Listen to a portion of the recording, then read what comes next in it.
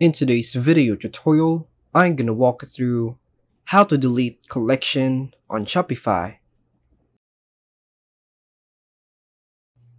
So make sure to watch the full tutorial until the end of the video.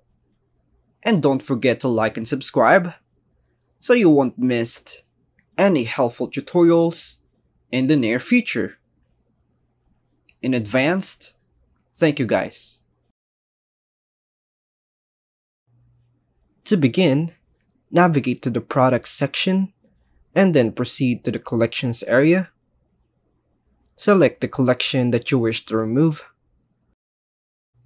Scroll down to the bottom of the page where you'll find the option to delete collection. Click on this option to proceed with the deletion. Once you've completed the step, remember to click on Save to finalize the process and confirm the removal of the collection. And that's all for now folks, thanks for watching.